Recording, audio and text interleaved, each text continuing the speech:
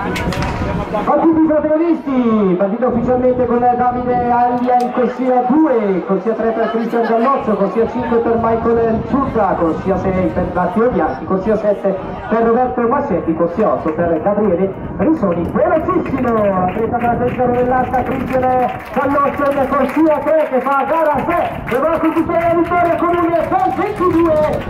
61 22 61 grande tempo